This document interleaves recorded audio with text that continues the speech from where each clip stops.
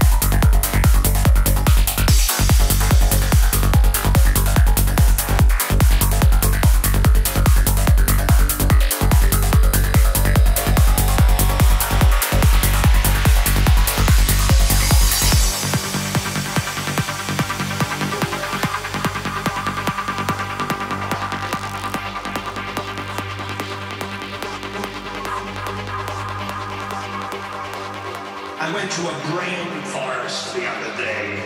All the colors were changing. The plants were talking to me.